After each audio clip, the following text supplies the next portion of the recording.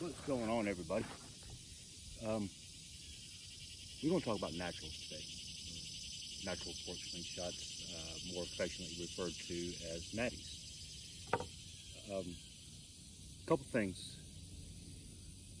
You should develop a couple of skills, and this working with natties will actually help you develop a couple of skills uh, needed along the way. Uh, first and foremost is going to be tree identification. the, I'm going to get a little closer so you can hear me. The trees that make good natties are usually the fruit-bearing, nut-bearing trees. Um, there are a few that don't produce nuts or berries that or fruits that make good ones, uh, such as cedar. Uh, but typically, a nut or a fruit-bearing tree is going to be your best option. And knowing how to identify, or more specifically, how not to identify, uh, or how to identify the ones not to use is, is easier. Typically don't want to use pine. Uh, pine does make a good natty, uh, but it's few and far between. Pine is a softer wood. Um, oak, maple, hickory, cedar, like I mentioned before, uh, mahoganies, uh, anything that's a hardwood is going to make a good natty. Uh, when it comes to selecting your natties, there's a couple of different things that you want to take a look for. Uh, me personally, I only make natties out of deadfall. Um, I, cutting on a live tree introduces uh, disease and fungus to the tree and uh, harms the tree, if not kills the tree. So I, I I, I just refuse to do it. Um, it it's plus a uh, deadfall fork is going to have more character to it. The other thing you want to look for is strength test. Now, this is a little piece of maple, and I've cut off a couple, couple just to kind of show you real quick. Um, cut them off. The way I do it is I'll grab it by my hand and go like that. That's a bad fork. Um, I knew that to begin with. I brought this, this one out here to show you. Whereas this oak one, right, there's no way I can break that. Rotten trees usually give you very little option as far as uh, a good solid natty, with the exception of one, and that's the cedar. And it comes back into identifying the trees that can and can't. Uh, most people would look at this all punky, rotten tree and think there's no way there's natural fork in there. Because I know it's cedar, I know cedar when it uh, dies and starts decomping, the heartwood stays solid. Uh, cedar is a very rot resistant, very bug resistant uh, wood. Other skills we want to develop are saw skills and knife skills. And this is really the only two tools you'll need to make a natty, uh, other than the information you need to actually find the right fork. This is an oak natty that I recently made. And this is a spalted maple natty that I recently made. And the spalting, uh, the lines in the spalting are just absolutely gorgeous. But what this is is actually two or three or five, however many different funguses fighting for territory. And every black line that you see in it is a boundary, boundary line for different funguses. And when you pull them back or pull the bark back and get it all cleaned up and everything, it just becomes absolutely beautiful. But you do need to be careful. You need to watch out for rot spots. Uh, this one's got a little soft spot right here that I ended up filling with super glue. There are ways around it, like I said, like doing super glue or whatever. But you want to be really cautious about it because that rot can go all the way through and it can be undetectable. So always do your strength test check them on a regular basis, uh, keep them oiled up, keep them waxed up, uh, or completely coat them with poly or something like that. Uh, I don't like the feel of poly. Uh, I'd rather have just oil and wax. Um, making a natty, it's not hard. Find you a fork, uh, cut it to a little bit more than what you think you're going to need. When I always tend to uh, start peeling my bark before I trim it, and that gives me there's two reasons. First off, it gives me handles.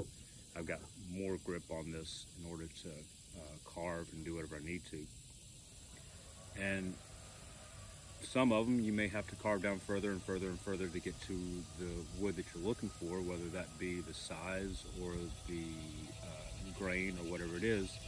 And if you cut it here, by the time you get everything down, it's going to be thinner. It's going to have a smaller fork gap. Uh, so, and having a good solid surface and cutting away from you.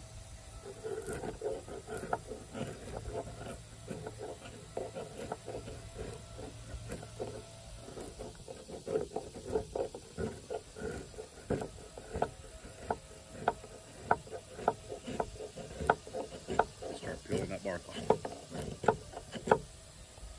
And we can already see this has got some really nice character inside of it. So just continue around.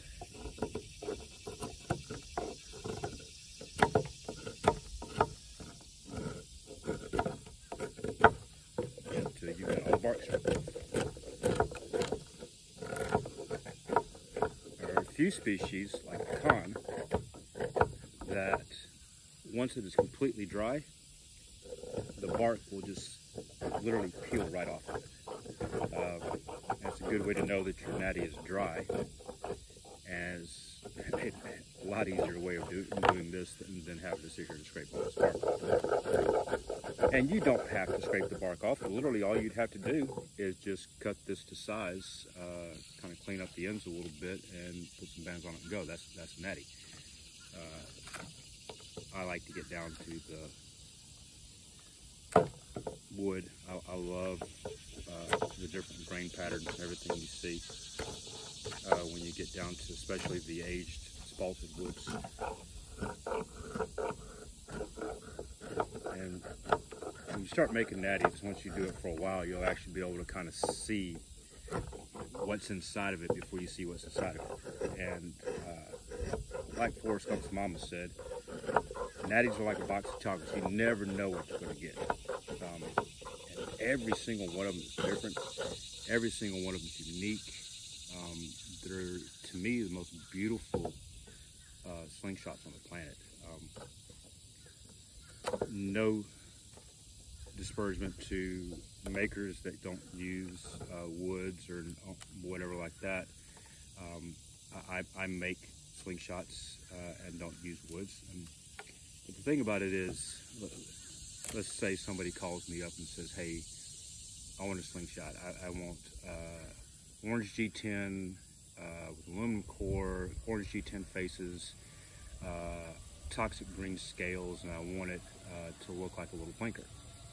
I'm like, cool, yeah, not a problem. Well, the next guy can call me up and says, hey man, I want an aluminum core, orange G10 uh, faces with toxic green scales, and I want it to look like a little blinker. Absolutely no problem. Well, those two are going to look exactly alike. There's no real soul to them. There's no real character to them. Natties, on the other hand, you never get the same slingshot twice. I don't care if you pulled it off the same tree, same branch, if they were growing next to each other's siblings, they are not going to be the be the same. They're going to have different character to them. They're going to have a different feel to them. Some of them are going to have a little bit more bug rot than others. It's just that knot right there is being tough. There.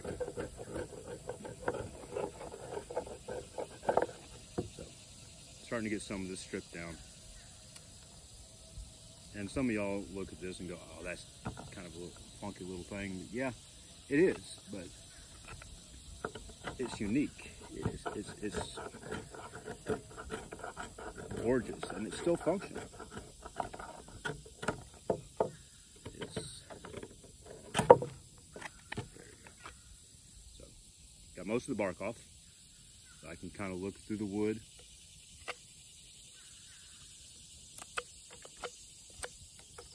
Make sure there's no overly rotted spots. And start playing with it, see how it feels in my hand. Yeah, I like that way better. So the way I do it is I'll typically just kind of hold up my hand and see about where it's supposed to be. Take my knife, myself a line, line, kind of make sure everything's kind of just somewhat evened up. And I'll take my saw and cut it off.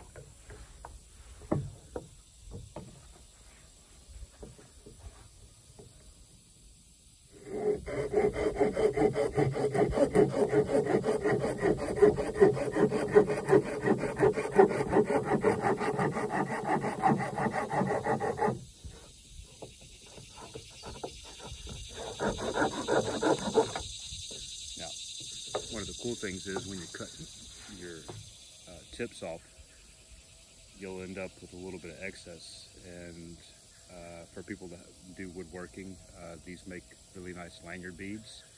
Um, what I like to do with them is once I get the natty all finished up and everything, I'll set it down there as a target.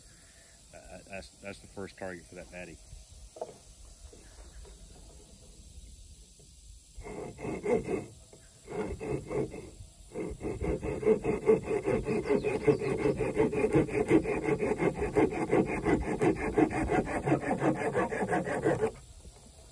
Now,